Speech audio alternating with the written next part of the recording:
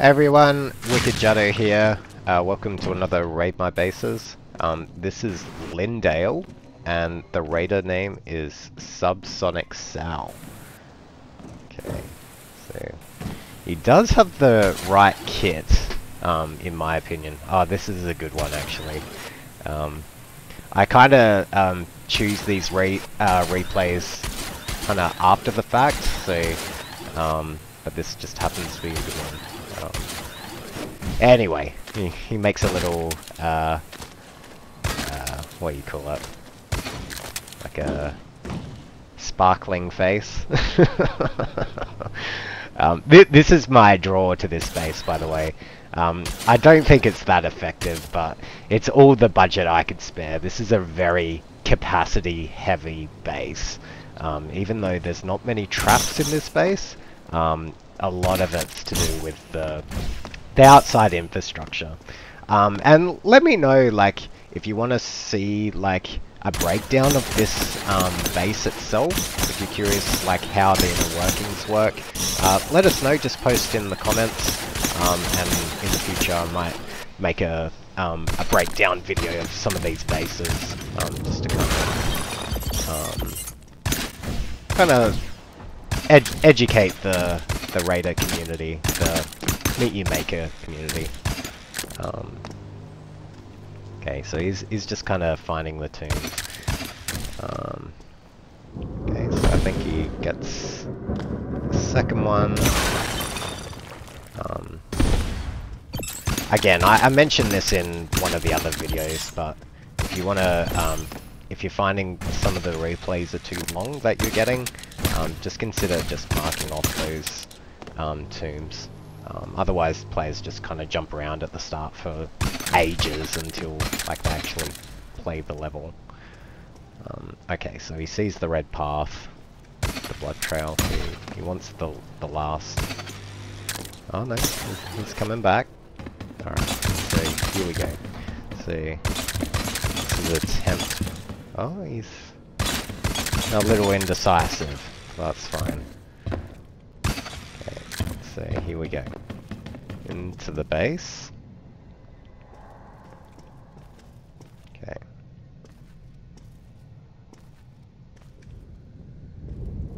Okay, so you can see all the, the corrosive cubes there. Um, yeah, I, I do the same. I don't know what I was thinking there. Um, but yeah, don't don't jump straight into that. Okay, so you can see all the the minions. Uh, I might slow it down here. Um, yeah, I, I forget what I've said in the the previous replay of this, but um, the idea here is you just get attacked from all sides, so you, there's no safety uh, at the start at least, anyway. Okay, so he's playing it cautious, which is wise. Um, you want to be able to time it um, before jumping. Ooh, man, he's cutting it really close there. Okay, he's trying to experiment, and fair enough, right? Like, you don't really see many bases like this, so it's good to try to experiment. If you're stuck on bases, like, just try something different because you might find a, a weakness that way. Still kind of playing it safe. He's not really confident in... Man, that's close. Um, he's not confident in jump jumping out just yet. Those bullets are so close to him. Yeah. Yeah, yeah, it's just a rough start. Like, once you get going, it's okay, but, like, kind of breaking out is... It is for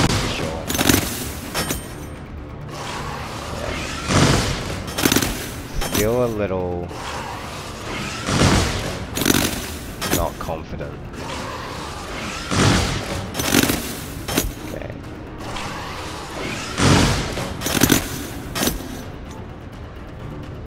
Okay, he's kind of thinking what the best strategy is here.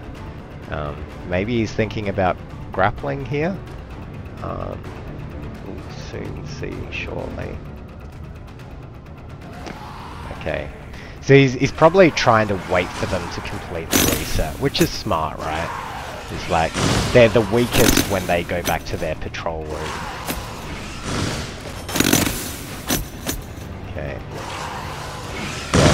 Once, once they see the raider, there's like a little bit of a cooldown before they reset to their original path.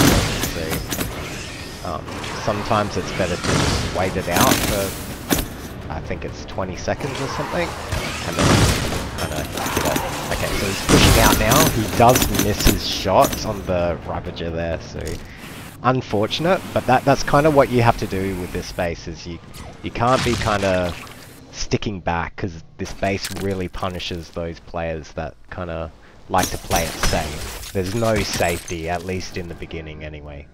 So, um, yeah, sometimes bases push you out of your comfort zone, so you just got to be able to adapt and um, change your strategy when you need to. Okay, we'll slow it down. Okay, so of thinking.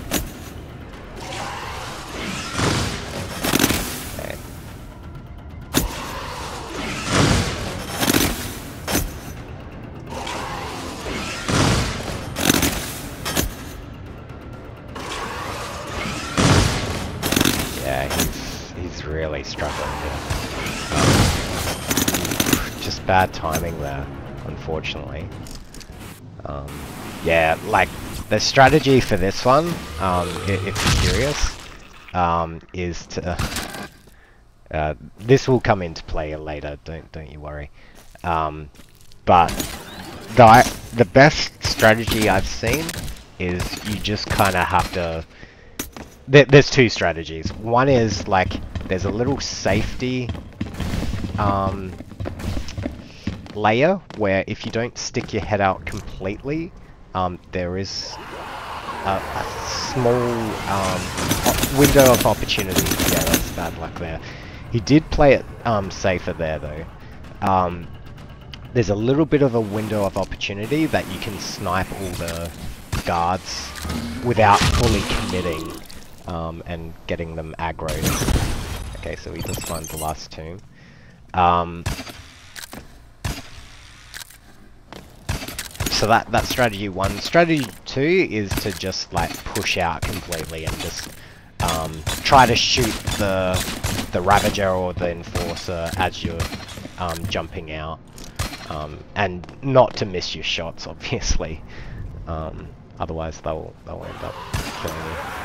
So yeah, here he kind of just dances around the bullets, but really you gotta just be able to shoot those Ravagers. Um, because if you can't clear them, they're just gonna keep shooting and then, you know, you're, you're out of options there. Might just slow it down a little bit.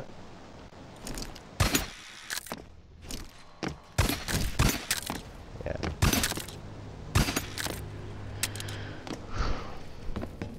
Okay, I, I, I've kind of lost count on how, how many deaths, but I think this is like raid 5 attempt or something. Okay,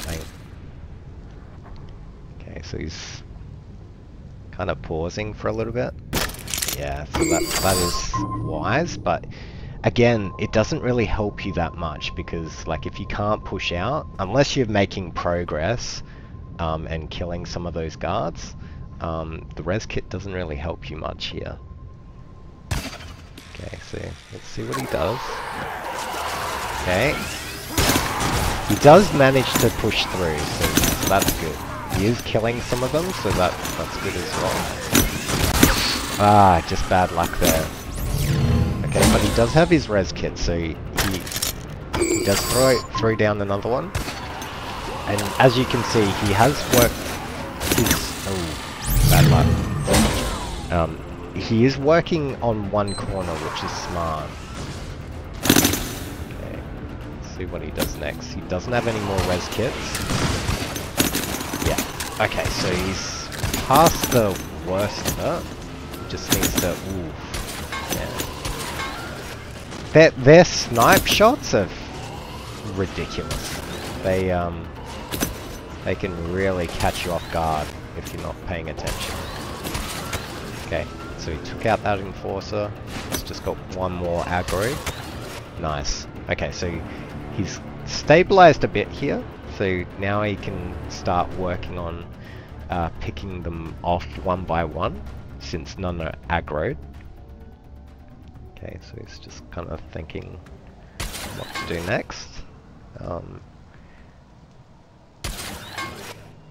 oh, not quite.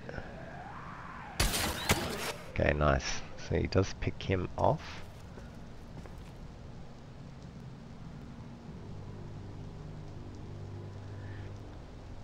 He might be a console player just judging by the movements. He's like a PC player will have that kind of mouse reflexes, but it looks like he's playing on console. And kudos to him. Like this game is, I I have a Steam Deck that I play on, and this game is significantly harder um, just playing on the the controller instead of the mouse keyboard. In my opinion, anyway. Like everyone has their preference, but I I definitely prefer the mouse keyboard. Okay, so he's, he's got back 8 bolts. There's still a few on the ground, but um, if it wasn't clear from the previous replay, the idea with this base is to just kind of starve the player of um, ammo.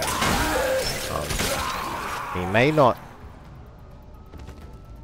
see it yet, but yeah, he, he's seen the, the hole there, so he's starting to piece together what, what's going on.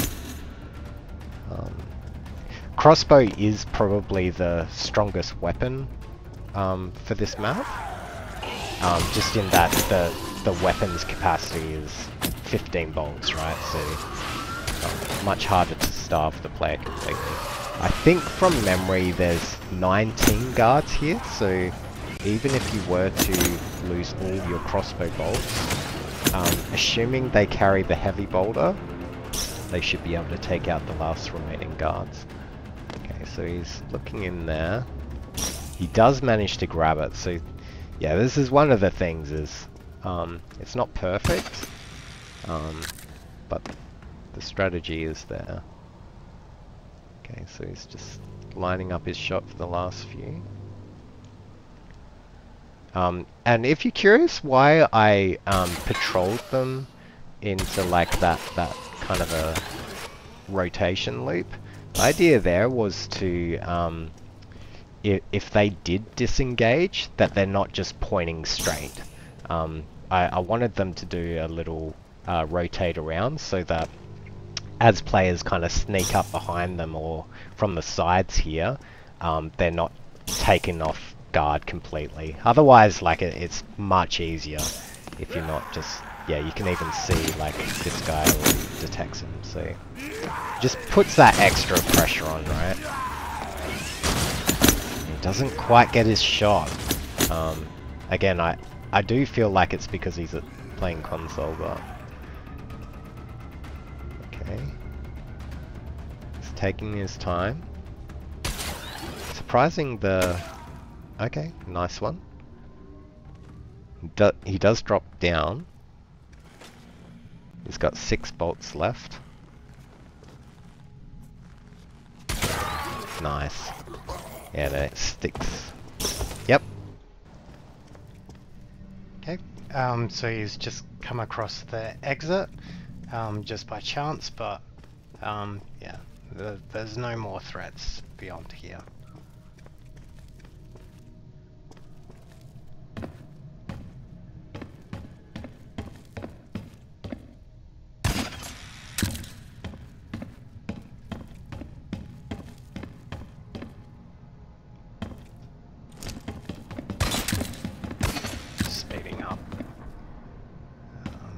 Funds the GenMat and these arrows out.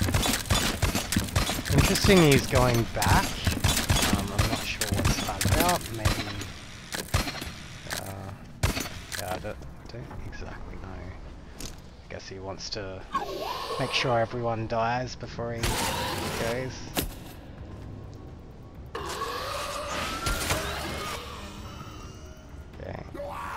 There's only a few more I, I guess like if, if you've made it this far, you might as well take the rest of them out. But um, you just get experience points um, and like some resources if you can grab the, the but I don't think unless you're a, a low player, you're not going to get finishing these. I guess you get the sense of achievement, right, for beating a difficult base. Okay, so that that's the right all of the guards, I believe. Um. Yeah, it looks like you took all of them out. Okay, we'll just speed it up.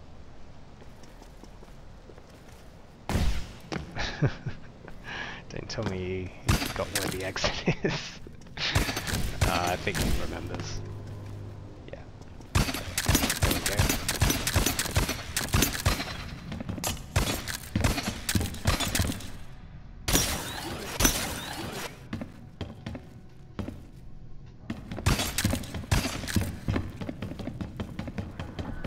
Alright, so there's the GenMat.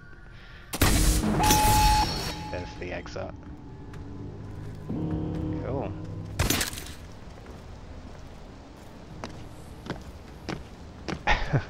Bit of a victory dance there. Um, um, and deservedly so, like I, I think it took him seven deaths to complete, so it's not an easy one. And looks like he had fun, so that that's the main thing, like when you're playing this game. yeah. Um, he does make a little smiley face, so uh, sounds like he, he had fun, so that's cool.